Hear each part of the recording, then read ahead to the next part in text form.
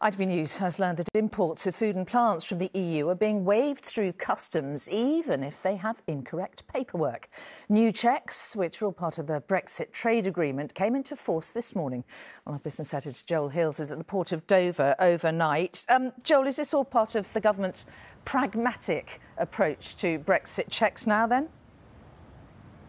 It appears to be, and it's important because a quarter of all the food we eat, Mary, is imported from the European Union. Much of it arrives on the back of a lorry. Now, the government insists the new border checks will better protect us from diseases in mainland Europe, but they will also, however, make food in the UK more expensive. Around 6,000 lorries arrive here at Port of Dover and just down the road at Eurotunnel every day. Both ports today say freight has been flowing more or less normally. ITV News has seen a slide, slide demonstration by DEFRA which helps to explain why. It shows that as of last week, 33%, a third of EU import declarations were being rejected because of errors.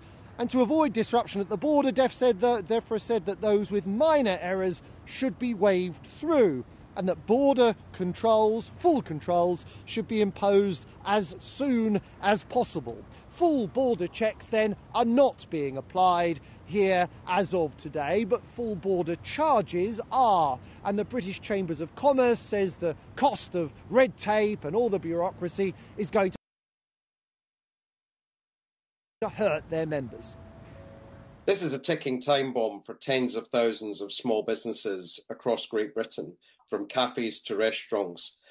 In 12 weeks' time, the invoices will drop and companies will face bills running into thousands of pounds that many, even today, don't know they're on the hook for.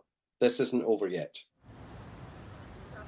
Well, tonight the government told us in a statement that it is taking a pragmatic approach to the new border checks. Mary, it admits that the error rate with paperwork is high and says it's working with businesses to bring that rate down. The government says it is protecting the UK's biosecurity while also minimising disruption. It does admit the cost of border checks, there will be one, it's negligible though, and it says that it will cause minimal impact to the price to consumers here in the UK.